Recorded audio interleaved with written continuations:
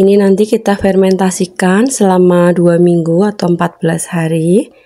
Dan ini ada contoh yang sudah saya fermentasikan. Ini saya buat dua bulan yang lalu. Kalau sudah jadi itu gelap seperti ini warnanya lebih coklat ya.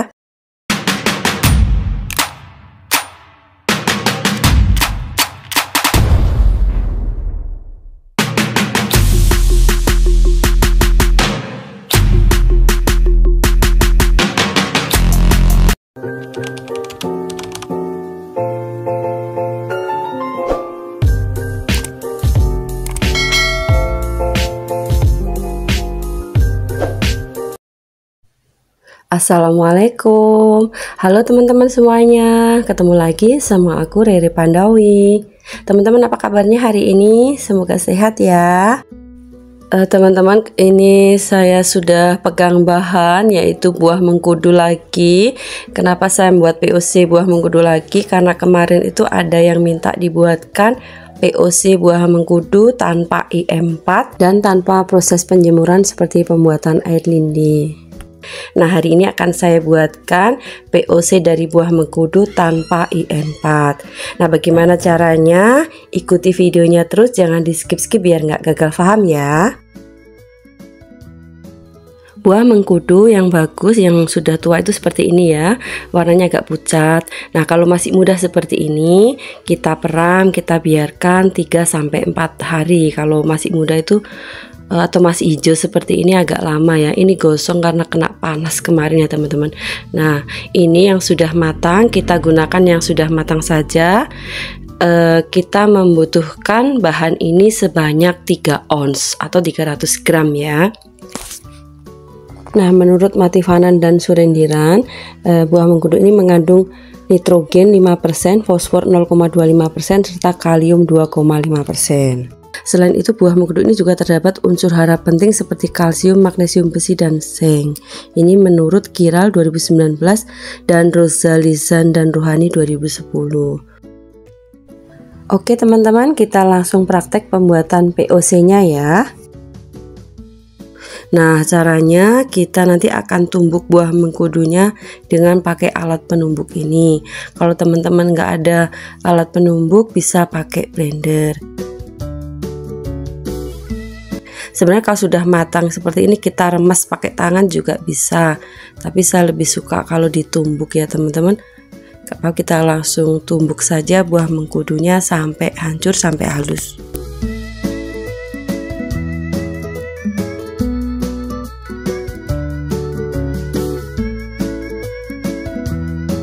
Nah ini hasilnya setelah ditumbuk ini bijinya nggak perlu hancur ya teman-teman, nggak ada masalah ya.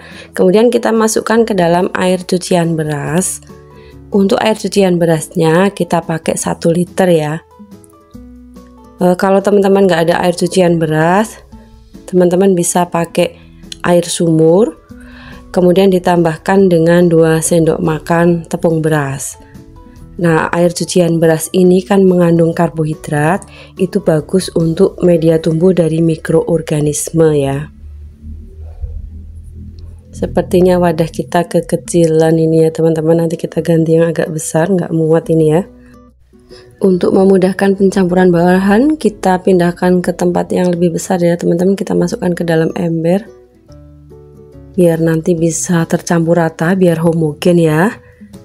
Nah, ini sudah kita masukkan ke dalam ember, kemudian nanti kita tambahkan bahan lainnya.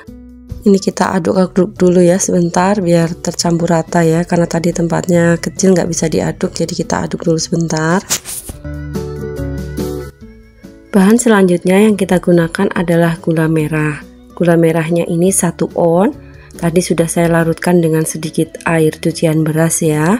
Kalau teman-teman tidak ada, silahkan pakai molase atau gula pasir, nggak ada masalah ya. Kita masukkan ke dalam ember, kita campurkan jadi satu dengan mengkudu dan air cucian beras.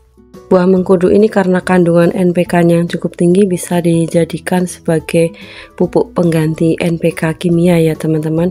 Ini sangat bagus sekali buat e, tanaman, entah itu tanaman hias, tanaman sayur, maupun tanaman buah.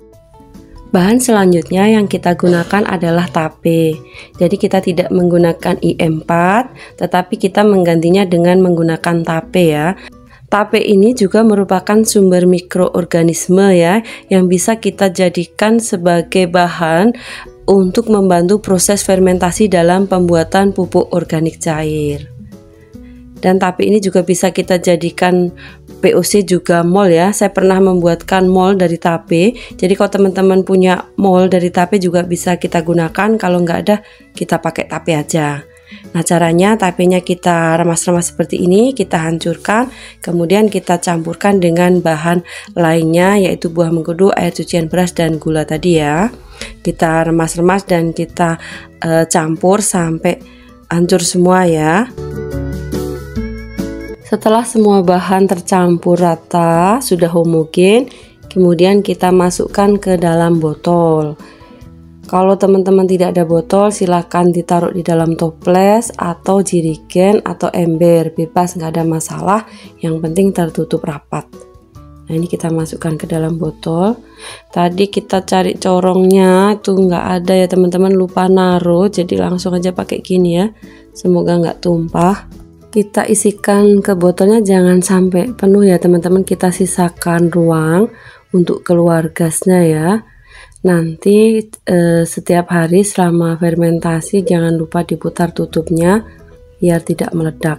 Soalnya ini ada tape ada mengkudu ada air cucian beras. Itu kalau dicampur luar biasa gasnya ya sangat besar sekali Nah ini sudah selesai kita masukkan ke dalam botol. Kita sisakan sedikit ruang nanti untuk keluar gasnya. Jangan lupa diputar tutupnya setiap hari. Kalau bisa pagi sama sore itu seminggu pertama ya. Tujuh hari pertama fermentasi diputar tutupnya itu setiap pagi sama sore. Karena kita menggunakan tape dan juga ada air cucian beras ada mengkudu itu gasnya sangat besar sekali ya teman-teman biar tidak meledak ya. Kalau teman-teman mau aman bisa pakai cara seperti ini. Kita gunakan selang kemudian uh, kita pakai botol kecil yang diisi dengan air penuh posisi yang di botol kecil selangnya lebih masuk ke dalam. Kemudian posisi selang yang di botol POC eh, agak naik ke atas ya. Jadi nanti gasnya yang keluar itu akan dialirkan masuk ke dalam botol kecil. Jadi aman tidak perlu buka tutup botol setiap hari dan tidak khawatir meledak ya Selama penyimpanan jangan lupa ya disimpan di tempat yang teduh, jauh dari paparan sinar matahari. Kalau bisa ya di ruang gelap kayak gitu ya, biar POC-nya ini berhasil. Nanti kalau berhasil dia itu akan berubah warna menjadi gelap, terus e, baunya seperti tape. Nah ini ada contohnya ya. Ini POC mengkudu yang sudah saya buat dua bulan yang lalu. Ini kayak gini warnanya gelap, lebih gelap. Kalau sudah jadi itu seperti ini. Kemudian dia itu baunya bau tape baunya lebih enak gitu ya. Nggak nyegerak banget kayak bau mengkudu waktu kita buat itu enggak baunya enak. Jadi teman-teman nggak usah khawatir yang nggak suka bau mengkudu. Kalau sudah difermentasi itu baunya eh, seperti tape ya asam manis gitu seperti tape. Nanti hasilnya seperti ini ya. Ini kalau sudah 14 hari fermentasi. Nanti kalau sudah 14 hari difermentasi, kita saring, kita masukkan botol baru kita aplikasikan. Nah, untuk pengaplikasiannya kita gunakan dosis rendah dulu. Untuk sistem spray kita gunakan dosis 10 sampai 20 ml per 1 liter air. Nah, untuk sistem kocor lebih banyak lagi kita gunakan sekitar 40 eh, sampai 50 ml per 1 liter air. Kita akan praktek pengaplikasian ya teman-teman pakai PUC mengkudu saya yang sudah jadi. Ini kita pakai dosis 10. Oh, ini kita pakai 15 eh, ml nggak apa-apa ya. Kita pakai dosis rendah Kemudian kita masukkan ke dalam air 1 liter. Untuk pengaplikasiannya kita lakukan setiap satu minggu sekali ya. POC yang kita buat ini selain bagus untuk menyuburkan tanaman juga bagus untuk pembungaan ya teman-teman. Ini juga bagus untuk kita gunakan pada tanaman hias maupun tanaman buah.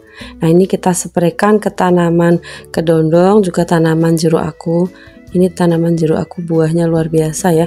Kalau di Malang tuh banyak tanaman jeruk ya teman-teman. Ini kelengkeng merahku kita spray juga. Ini kemangi tanaman sayur juga bisa ya kita gunakan pakai POC ini. Nah ini juga aku aplikasikan ke tanaman anggrek aku ya